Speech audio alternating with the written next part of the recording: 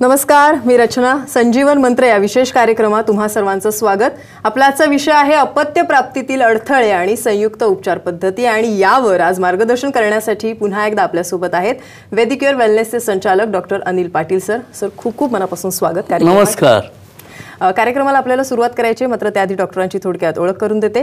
डॉक्टरांबद्दल खरं तर थोडंसं जाणून घेऊया. डॉक्टर अनिल पाटील यांनी K E एममधून M B B S M D करताना गोल्ड मेडल मिळून पदव्युत्तर शिक्षण घेतलंय. त्या व्यतिरिक्त डॉक्टर अनिल पाटील यांनी इतर वैद्यकशास्त्र acupuncture acupressure osteopathy chiropractic yoga Ayurveda reiki हिप्नोम्युझियम therapy यातही प्रावीण्य आहे आपल्या अविरत रुग्णसेवेसाठी त्यांना अनेक पुरस्कारांनी सन्मानित करण्यात आले त्यातील एक महत्त्वाचं म्हणजे Ecole Superieure Robert de Sorbonne या युनिव्हर्सिटी डॉक्टर अनिल पाटील यांना मानद डॉक्टरेट पदवीने बँकॉक थायलंड इथे एका विशेष कार्यक्रमात गौरवण्यात आलंय.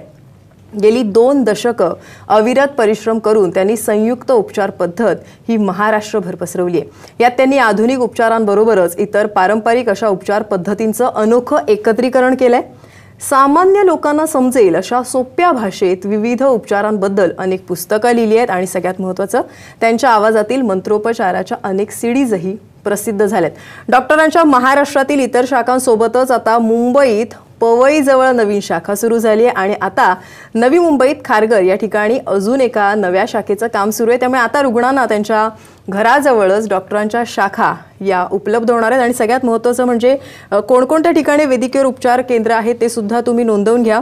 पनवेल खारघर वाशी दादर विक्रोळी ठाणे डोंबिवली अंधेरी बोरिवली विरार तसंच पुणे कर्वे रोड स्वारगेट पुणे पुणे चिंचवड वडगाव शेरी पुणे सोलापूर नाशिक सांगली कोल्हापूर आणि औरंगाबाद या ठिकाणी सुद्धा वैद्यकीय उपचार केंद्र सुरू आहेत.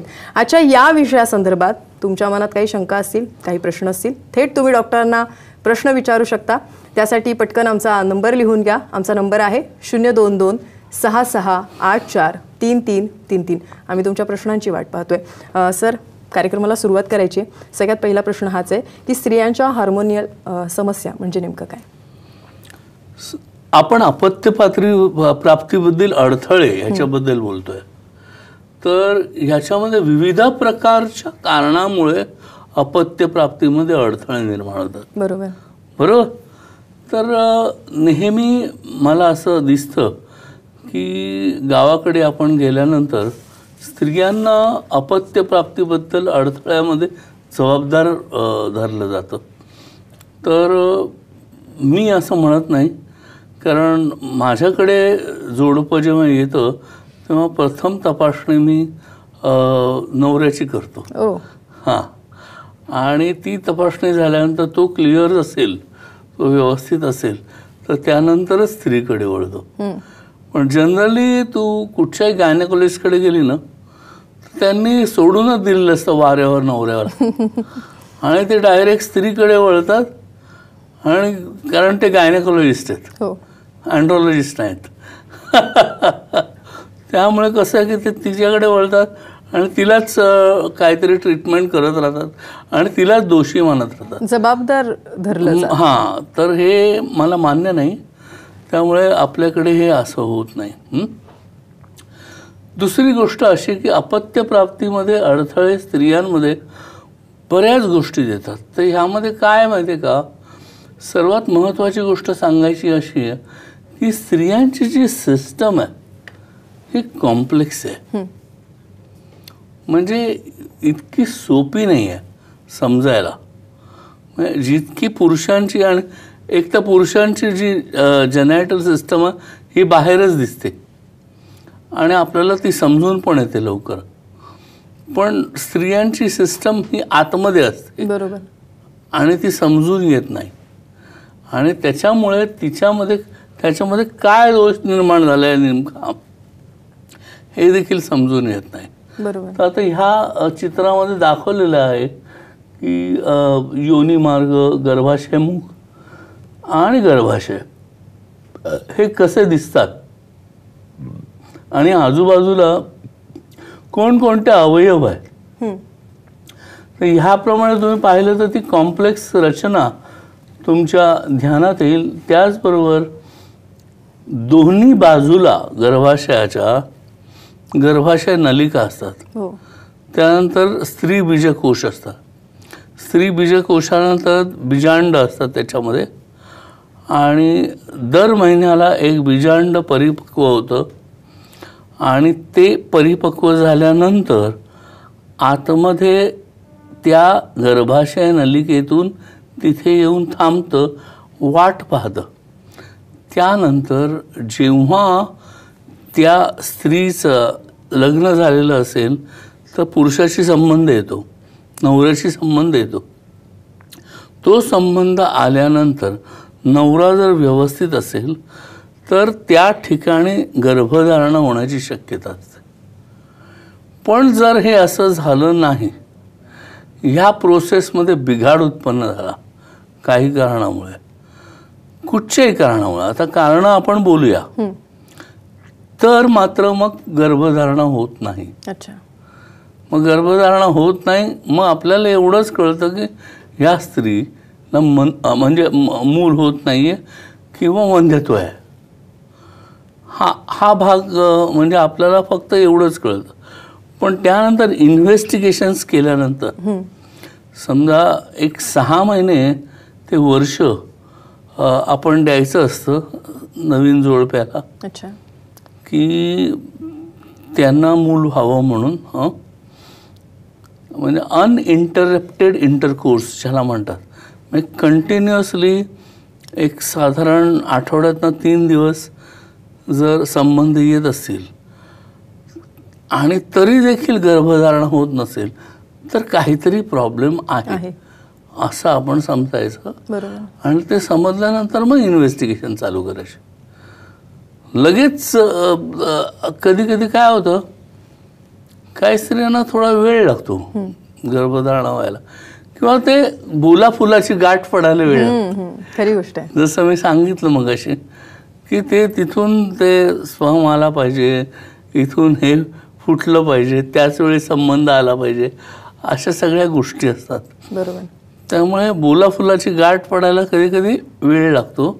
आणि त्यामुळे कधी म्हणजे लवकर गर्भधारणा होत नाही. सर मगाशी जसं तुम्ही म्हणालात की अनेक स्त्रिया तुमच्याकडे जेव्हा हा अडथळा घेऊन येतात की अपत्यप्राप्तीत त्यांना अडथळे येतात काही ना काही त्यामागे कारण असतात. पण तुम्ही पुरुषांची सुद्धा टेस्ट करता? तिथे जर तुम्हाला पुरुषांची पहिली करतो हां. तिथे जर तुम्हाला सगळ्या गोष्टी नीट आढळल्या मग तुम्ही स्त्रियांच्या टेस्टकडे वळता. पण या सगळ्या गोष्टींमध्ये तुम्हाला काय आजपर्यंत कारणं पाहायला मिळाली आहेत? हां. तर सर्वात महत्त्वाचं कारण आपण जर पाहिलं स्त्रियांमध्ये तर ते हॉर्मोनल कारण आहे हल्लीच्या दिवसांमध्ये. म्हणजे काय होतं की पाळी अनियमित होणे हो. काही कारणामुळे. मग पाळी अनियमित का होते? तर काही कारणामुळे स्ट्रेसमुळे ताणामुळे. कसं असतं माहिती आहे का? हा जो काळ असतो स्त्रीचा म्हणजे रिप्रोडक्टिव्ह एज ग्रुप आपण ज्याला म्हणतो की ज्याच्यामध्ये मुलीला गर्भधारणा होण्याची शक्यता असते. तो जो काळ असतो हा अत्यंत नाजूक काळ असतो.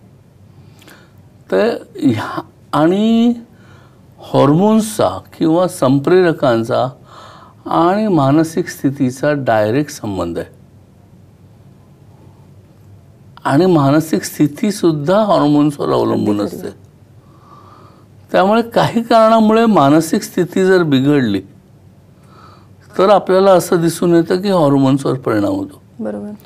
मग हॉर्मोन्सवर परिणाम आल्यावर सर्वात महत्त्वाचा जो एक रोग आहे तो आपल्याला दिसून येतो तो म्हणजे P C O D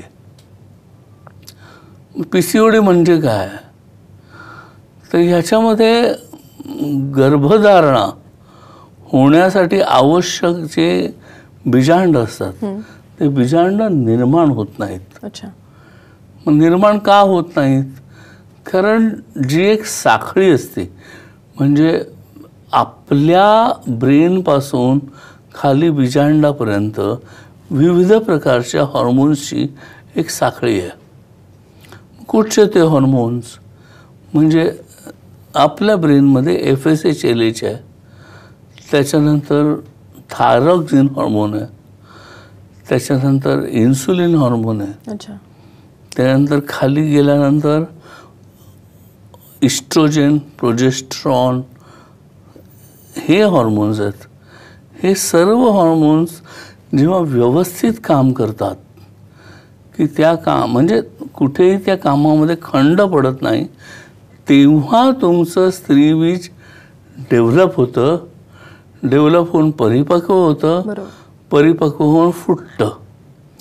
पण जर ह्यातलं कुठचाही हॉर्मोन नीट काम करत नसेल तर आपल्याला असं दिसतं की स्त्रीबीज हे परिपक्व होत नाही फुटत नाही त्याचे फुगे तयार होतात. थेट संबंध आहे.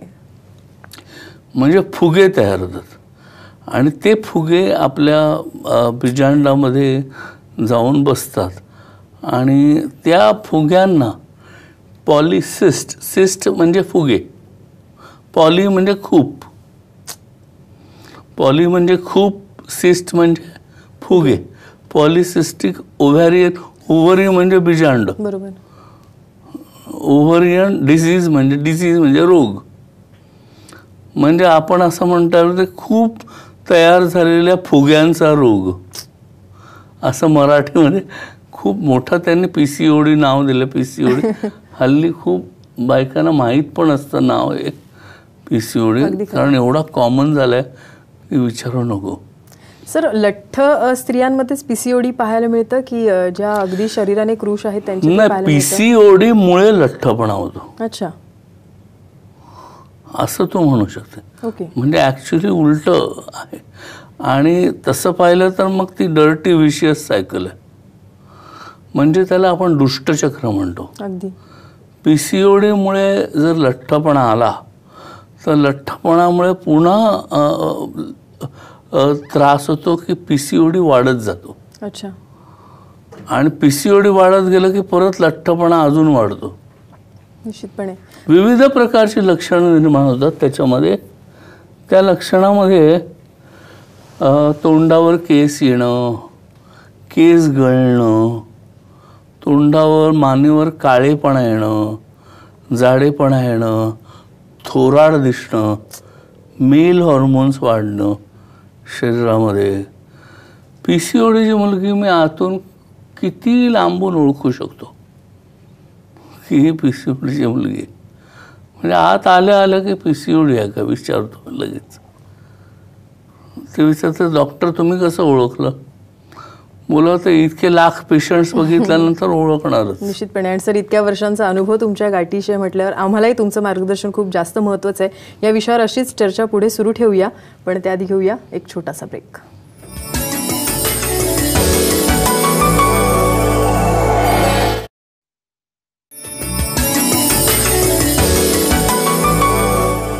ब्रेकनंतर तुम्हा सर्वांचं पुन्हा एकदा स्वागत. अपत्यप्राप्तीत अडथळे आणि संयुक्त उपचार पद्धत. याबद्दल आपण डॉक्टर अनिल पाटील यांच्याकडून मार्गदर्शन घेत आहोत.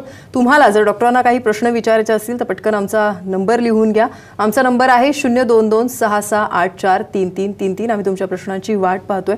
सर आपण मगाशी पी सी ओडी संदर्भात बोलत होतो. अपत्यप्राप्तीत कोणकोणत्या पद्धतीने हे अडथळे निर्माण होतात? काय नेमकी त्याची कारण आहेत? त्याबद्दल तुम्ही आम्हाला मार्गदर्शन करत आहात. बरोबर. तर कसं आहे माहिती आहे का? जसं मी सांगितलं की स्त्रियांची जनायटल सिस्टीम कॉम्प्लेक्स आहे त्यामुळे विविध प्रकारचे अडथळे निर्माण होऊ शकतात. तर ह्यात आपण आता ट्यूब ब्लॉकबद्दल बोलूया. म्हणजे काय? जसं मी सांगितलं की गर्भधारणा होण्यासाठी ट्यूबमध्ये ते बीजांड कोशातून एक बीज आतमध्ये जाऊन तिथे थांबावं लागतं. बरोबर. आणि तो जो स्पर्म असतो तो सुद्धा मध्यापर्यंत यावं लागतो. म्हणजे त्या गर्भाशय नलिकेच्या. जर गर्भाशय नलिकाच बंद असेल तर काय होणार? बरोबर. दोन्ही बाजूने द्वार बंद. म्हणजे ना बीज येऊ शकत ना स्पर्म जाऊ शकत. अशी परिस्थिती कधी निर्माण होते? अशी परिस्थिती निर्माण व्हायला कारणीभूत म्हणजे हे जे बीजनलिका असतात या बीजनलिकांना जसं आपलं नाक सर्दी झाल्यावर बंद होतं. त्याचप्रमाणे बीजनलिकांना सूज येते. अच्छा. आता सूज कशामुळे आली? सूज नेहमी इन्फेक्शनमुळे येतं. हो. मग कुठच्या कुठच्या प्रकारचे इन्फेक्शन्स होऊ शकतात? सर्वात महत्त्वाचं इन्फेक्शन जे आहे ते म्हणजे पायोजेनिक साल्पिंजायटिस. म्हणजे एका विशिष्ट प्रकारच्या जीवाणूंमुळे होणारा संसर्ग. अच्छा. त्या संसर्गामुळे संपूर्ण ट्यूबला सूज येते आणि सूज आल्यानंतर त्या बंद होतात. सर याबद्दलही जाणून घेऊया पण त्याआधी फोन आलाय तो घेऊया. पुण्याहून सोमनाथ बोलतात आपल्याशी. बोला प्रश्न विचारा. सर प्रॉब्लेम असा होतो. दोन दोन महिने पिरियडच येत नाही मेसेजचा हॅलो. वय काय आहे त्यांचं? अ, आत्ता एकोणीस. किती? एकोणीस. एकोणीस. हो. अच्छा. अ, मुलासाठी तुम्ही प्रयत्न करताय का बाळासाठी? हो मॅडम. अच्छा. सर आत्ताच आपण त्याबद्दल बोलत होतो आणि आता हेही तेच सांगतात की एकोणीस वय आहे आणि त्यांच्या मिसेसना दोन दोन महिने पाळीच येत नाही आहे हां म्हणजे त्याचं कारण पी सी ओ डी तर पी सी ओ डीसाठी आपल्याकडे ट्रीटमेंट आहे प्रॉपर मला असं वाटतं मी नेहमी बोस्ट करतो की पी सी ओ डी एक तर माझ्याकडे बरा होईल नाही तर बराच होणार नाही हो. दुसरीकडे. संपूर्ण पंचकर्म दिलं जातं. जवळजवळ तीन महिने मी पंचकर्म देतो अशा लोकांना. कुठे राहतात ते? सर हे पुण्यातून बोलत होते. आता पुण्यात तर आपली चार क्लिनिक आहेत. हो. आणि उद्याच मी चाललो आहे पुण्याला. वा. त्यामुळे ते सहज मला भेटू शकतात. काही मोठी गोष्ट नाही आहे? तर ते जे स्त्रीबीज प परिपक्व होऊन बाहेर पडण्याची जी प्रक्रिया आहे ती प्रक्रिया व्यवस्थित व्हायला पाहिजे. ती जर व्यवस्थित झाली तर पाळी व्यवस्थित येते. निश्चितपणे. पण जनरली गायनाकोलॉजिस्टकडे गेल्यावर काय होतं ते पाळीची औषधं देतात. कारण लोक काय घाबरले असं पाळी येत नाही मला पाळी येत नाही. अरे पाळी येऊन तुला मूल होणार आहे का? पाळी येऊन मूल येतं का? नाही होत. मग मूल कसं होतं? पाळी न येण्यामुळे होतं. सायकल ठरलेली आहे त्याची. नाही I mean to say pregnancy झाल्यानंतर पाळी बंद होते. ऑफकोर्स चालू नाही राहत. अगदी खरं तर तेच म्हणतो पाळीचा विचार करू नका. स्त्री बीज कोशातनं स्त्री बीज कशी बाहेर येतील? त्यासाठी प्रॉपर ट्रीटमेंट दिली जाते. आपल्याकडे आणि प्रॉपर ट्रीटमेंट दिल्यामुळे काही महिन्यातच बऱ्याच महिन्या म्हणजे लाखो महिला महिलांना याचा फायदा झाला त्यांना सुद्धा होईल. निश्चितपणे. सर जसं तुम्ही म्हणाल की लाखो महिलांना याचा फायदा झालेला आहे जे तुमच्याकडून उपचार पद्धती घेतात अशाच काही पेशंट्सचे सुद्धा अनुभव आपल्याकडे आलेले आहेत. बघूया त्यांना नेमकं काय म्हणायचं आहे माझं नाव सानिका सचिन शिंदे राहणार वाशी. मला लग्नाला साधारणतः तीन साडेतीन वर्ष कंप्लीट झाली होती. मला ट्युबवेल ब्लॉक होते आणि त्यासाठी मला ऑपरेशन सांगितलं होतं. पण मग नंतर मग मी म्हटलं ऑपरेशन करून बाळ राहण्यापेक्षा नॅचरली बाळ राहणे खूप योग्य आहे. आणि अशा परिस्थितीत मला टी व्हीवर डॉक्टर अनिल पाटील या सरांचा कार्यक्रम मी पाहिला. आणि त्या कार्यक्रमामध्ये मला असं वाटलं की आपण इथे एकदा तरी जाऊन पाहावं. म्हणून मी एक इथे वाशी से स- सेंटरला येऊन सरांना भेटले. आणि त्यानंतर मग सरांनी मला क- पूर्ण खात्री दिली की म तुम्ही ऑपरेशन न करता तुम्हाला संयुक्त उपचार पद्धतीने बाळ राहू शकतं असं. आणि म्हणून मग त्या त्या पद्धतीने मी त्यांच्याकडे उपचार सुरू केले. हे उपचार पद्धती मला तीन साडेतीन महिन्यातच खूप म्हणजे कंप्लीट होऊन मला गुण आला पण. या त्यामुळे मी सरांची खूप आ- आभारी आहे. आणि अशा पद्धतीने मी माझ्यासारख्या इतर गरजू ज्या ज्यांना माहिती पण नाही आहे अशा गोष्टींची किंवा अशा उपचार पद्धतींची त्यांच्यासाठी सुद्धा मी खूप प्र- प्रयत्न करते अजूनही. नमस्कार माझं नाव अपर्णा साठे. मी पनवेलमधून पनवेलमध्ये राहते. माझं वय एकोणतीस आहे. मी गेले सहा सात वर्ष ॲलोपॅथिकची ट्रीटमेंट घेतली बीजनिर्मितीसाठी आणि लायनिंगसाठी. खूप स खूप ठिकाणी गेले खूप ट्राय केले पण मला तेवढा असं सक्सेस नाही मिळाला. त्यात पुरताच मिळाला. त्याच्यानंतर मला टी व्हीवरती अनिल पाटील सरांची इंटरव्ह्यू मी पाहिली आणि त्याच्यानंतर पनवेल सेंटर पनवेलमध्ये वेदिकेअर वेलनेस सेंटर आहे सरांचं. तिथं मी येऊन भेटली आणि तिथून सरांनी मला तीन महिन्याची ट्रीटमेंट दिली. ती ट्रीटमेंट सुरू केल्यापासून पहिले एक दोन महिन्यातच मला रिझल्ट जाणवायला लागले आणि आज मला तिसरा महिना आहे. त्यामध्ये माझे लायनिंग पूर्णपणे स्ट्रॉंग झाले आहेत खूप छान त्याचे रिझल्ट आले आहेत शिवाय बी बीज निर्मिती ही माझी खूप छान प्रकारे वाढलेली आहे. तर आत्ता तीन महिन्यातच मला एवढा छान रिझल्ट आला आहे त्याबद्दल मी डॉक्टर अनिल सरांची आणि इथे पनवेलमधल्या सर्व मॅडमचे डॉक्टरांचे धन्यवाद मानते.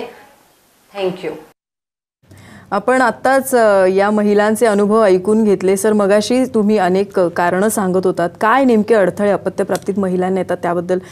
खूप खचून जातात महिला. मग ती कुठल्याही वयाची असो जेव्हा असे सगळे अडथळे येतात तेव्हा मगाशी तुम्ही इन्फेक्शनबद्दल बोललात किंवा ट्यूब ब्लॉकबद्दल बोलत होता. अजून काय असे समस्या? म्हणजे कसं आहे की हा खूप मोठा विषय आहे. पटकन संपणारा नाही. पण आता असं पण असतं काही महिलांना वारंवार गर्भपात होतात. सर गर्भपाताबद्दल सुद्धा जाणून घेऊया आपण. पिंपरीहून लता यांचा फोन आलाय. बोला लता प्रश्न विचारा. हा माझ्या सुनबाईला पिसिओडीचा त्रास आहे. अच्छा. पिसिओडीचा त्रास आहे. पंचकर्म केलेत. शिरोधारा शिरोधारा बस्ती वद वमन विरेचन सगळं केलंय. पण दोन महिने झालं केलंय तर डेट येईना काय होईना घरगुती काय उपचार असला तर आम्ही डोक्याच्या बाहेर झाले आता टेन्शन फार आले त्यांचं किती कुठे वय राहता आहे? तुम्ही? वय एकोणतीस आहे. 29 पहिली मुलगी आहे चार राहता कुठे तुम्ही? पिंपरीला राहतात त्या. हा मग चिंचवडला आपलं हॉस्पिटल आहे. हे बघा कसं असतं की अं, बाकरवडी सगळीकडे मिळते पण चितळ्यांची वेगळी असते. हो हो. बरोबर की नाही? बरोबर. हां तसं तुम्ही जगात कुठेही काही ट्रीटमेंट घ्या पण अनिल पाटीलची ट्रीटमेंट वेगळीच असणार. अगदी खरंय अगदी खरं हां मग तुम्हाला ती वेगळी ट्रीटमेंट घ्यावी लागेल कारण का अनुभव जास्त आहे. लाखो स्त्रियांचा अनुभव याच्या मागे मी अशी थप एवढी फाईल ठेवीन की एवढ्या बायका आहेत ज्यांना मुलं झाली. हां? बरोबर. की ज्याच्यामुळे पी सी ओ डी बरा झाला. त्याच्यामुळे मला तसं सांगावंसं वाटतं की तुम्ही निराश न होता शांतपणे मी सांगतो ती ट्रीटमेंट मनापासून घ्या. निश्चितपणे. सर आणखीन एक फोन आले तोही घेऊया. घाटकोपरहून दीपाली बोलतायत बोला दीपाली प्रश्न विचारा. शांतपणे मी सांगतो ती ट्रीटमेंट मनापासून अ, दीपाली प्लीज तुमच्या टीव्हीचा आवाज बंद करा आणि तुमचा प्रश्न विचारा. हा सर. मला आहे ना पाच पाच महिने महिने पिरियड्स आहेत ना. पाच पाच महिने पिरियड्स येतात ना? हो आणि? हो सर अजून पण आले नाहीत. हरकत नाही आहे. तर आपण त्यांना इन्व्हेस्टिगेट करू. किंवा त्यांनी काही रिपोर्ट्स काढले असतील तर ते पाहू. काही थायरॉक्सिनचा प्रॉब्लेम आहे का? पी सी ओ डीचाच प्रॉब्लेम आहे. किंवा इतर काही प्रॉब्लेम्स आहेत. हे आपल्याला शोधावे लागतील. निश्चितपणे. आणि शोधून योग्य निदान करून आपण जर ट्रीटमेंट केली तर माझ्या मते तुम्हाला काहीही टेन्शन घेण्याची गरज नाही आहे तुम्ही मी सांगितलेली ट्रीटमेंट जर मनापासून केली तर पूर्णपणे बऱ्या व्हाल निश्चितपणे. सर खरं तर एका एपिसोडमध्ये या सगळ्या गोष्टी संपणाऱ्या नाही आहेत आणि तुमचा अनुभव खूप लाख मुलाचा आहे कारण अनेक महिलांना सुद्धा त्याचा निश्चितपणे फायदा झाल्याचा आपल्याला पाहायला मिळते पण सध्या तुम्ही इथे आलात आणि छान माहिती आम्हाला दिली त्याबद्दल खरंच खूप खूप धन्यवाद. नमस्कार. आता मात्र आपल्याला इथेच थांबायचं आहे पुन्हा भेटायचं आहे नव्या पाहुण्यांसोबत नव्या विषयासोबत पण सध्या इथेच थांबतो आहे नमस्कार.